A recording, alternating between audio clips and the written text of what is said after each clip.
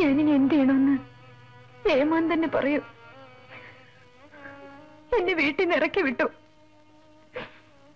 ഞാൻ കാരണമാണ് നിനക്കിങ്ങനെ ഒരു അബദ്ധം പറ്റിയെന്ന് വീട്ടുകാരോട് പറഞ്ഞോ? ഇല്ല ഏമാനെ ഞാൻ ആരോടും പറഞ്ഞിട്ടില്ല. ആളാരെന്ന് പറയാത്തോണ്ട് എന്നെ വീട്ടിൽ നിന്ന് ഇറക്കി വിട്ടത്. ശാരദ ഒരു കാര്യം ചെയ് ഞാൻ കുറെ രൂപ തരാം. അത് കൊണ്ടുപോയി എനിക്ക് രൂപ വേണ്ട ഏമാനെ ഒരു ഭർത്താവിന് മതി. ഞാൻ നിന്നെ വിവാഹം ചെയ്യാനോ? അത് നടക്കില്ലെന്ന് എനിക്കറിയാം ഏമാനെ എനിക്ക് ഒരു ഭർത്താവിന് തന്നാ മതി. ഏത് പുരുഷനായാലും ഞാൻ സ്വീകരിച്ചോളൂ. പാൽ കച്ചവടം ചെയ്ത് ഞാൻ അയാൾക്കൂടെ ചെലവിന് കൊടുത്തോളൂ.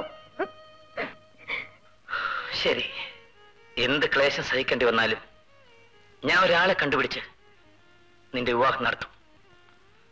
പക്ഷേ നിന്റെ വയറ്റിൽ കിടക്കുന്ന കുഞ്ഞ് എന്റേതാണെന്ന് മാത്രം ആരോടും പറയരുത്.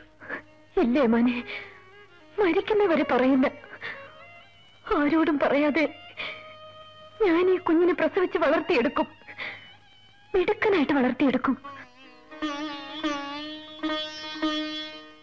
ഒരു പാവപ്പെട്ട സ്ത്രീയോട് കാണിക്കാവുന്ന ഏറ്റവും വലിയ അനീതിയാണ് ഞാനന്ന് ചെയ്തത്. അതിനുശേഷം നിന്റെ അമ്മയെ ഞാൻ കണ്ടിട്ടില്ല. ജയിൽ റെക്കോർഡ് പരിശോധിച്ചപ്പോഴാണ് നീ എന്റെ മകനാണെന്ന് മനസ്സിലായത്.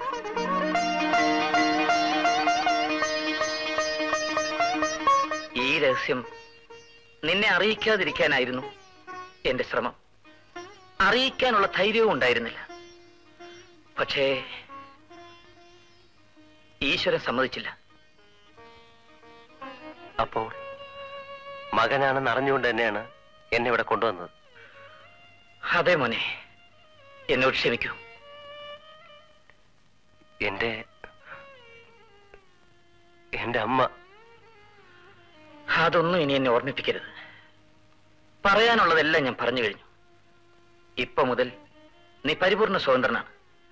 നിന്നെ തടയാൻ ആരും ഇവിടെ ഉണ്ടാവില്ല. നിനക്ക് പോകണമെങ്കിൽ പോകാം.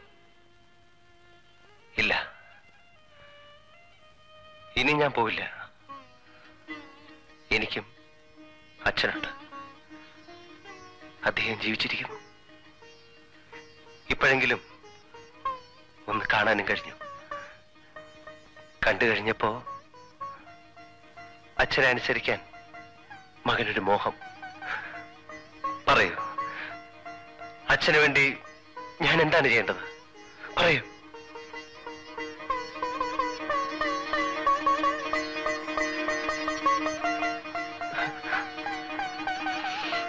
മോനെ.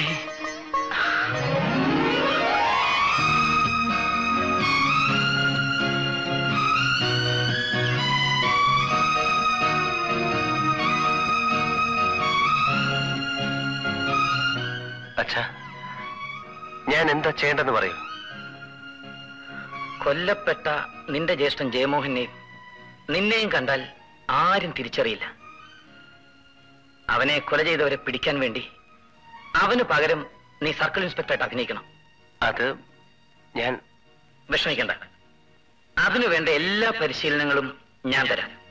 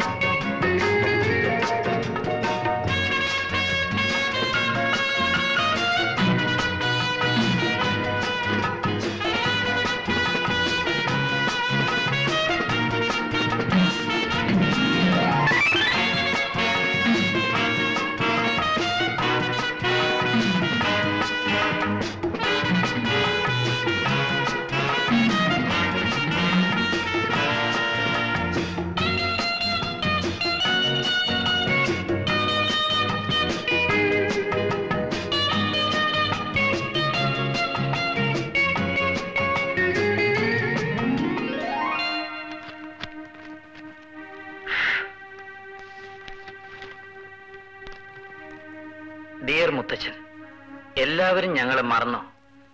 ഞങ്ങളുടെ കൂട്ടുകാരുടെയൊക്കെ അച്ഛനും അമ്മയും അവരെ കാണാൻ വരുന്നുണ്ട്. ഞങ്ങൾക്ക് ആരും ഇല്ലേ എന്ന് അവരൊക്കെ ചോദിക്കുമ്പോൾ ഞങ്ങൾക്ക് സങ്കടം വരും. ഞങ്ങൾക്ക് മമ്മയില്ലാത്തത് കൊണ്ടാണോ ഞങ്ങളെ ആരും തിരക്കാത്തത്. ഡാഡിയെ ഇങ്ങോട്ട് വിടാമെന്ന് മുത്തശ്ശൻ പറഞ്ഞിട്ട് ഇതുവരെ വിട്ടില്ലല്ലോ. ഈ വരുന്ന പത്താം തീയതി ഞങ്ങളുടെ സ്കൂൾ ഡേ ആണ് അന്ന് ഡാഡിയും മുത്തശ്ശനും ആന്റിയും വരണം. ഞങ്ങൾ കാത്തിരിക്കും. എന്ന് മുത്തശ്ശന്റെ ബാബു മിനി.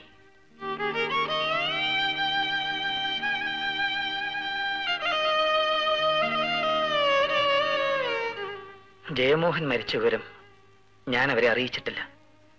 ഡാഡിയെ കാണാൻ കൊതിച്ചു കൊതിച്ചിരിക്കുന്ന കുഞ്ഞുങ്ങളോട് ഞാൻ എന്തു പറയും? എന്റെ ജ്യേഷ്ഠന്റെ മക്കളാണ്. ഇന്നു മുതൽ ഞാനാണ് അവരുടെ അച്ഛൻ. പത്താം തീയതി നമ്മൾ സ്കൂളിലേക്ക് പോകുന്നു.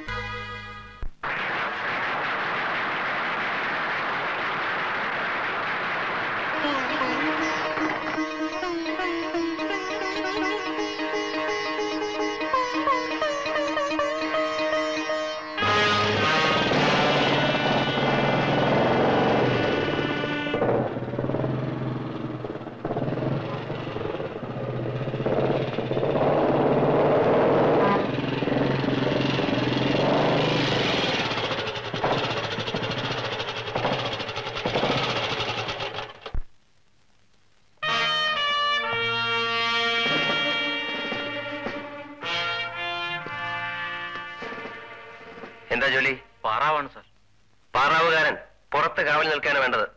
മേലാ സ്റ്റൂളിട്ടകത്തിരിക്കരുത്. പോണം. ശരി സാർ.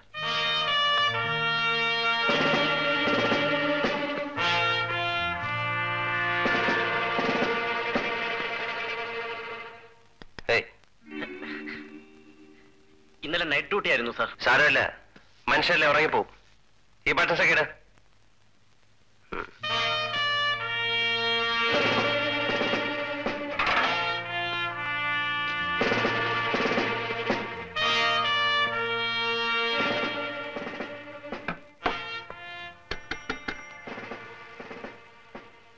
ഫയലുകളൊക്കെ എടുത്ത് അപ്പുറത്ത് വയ്ക്കേ ചോദിക്കുമ്പോ ചോദിക്കുന്ന ഫയൽ എന്നാ മതി.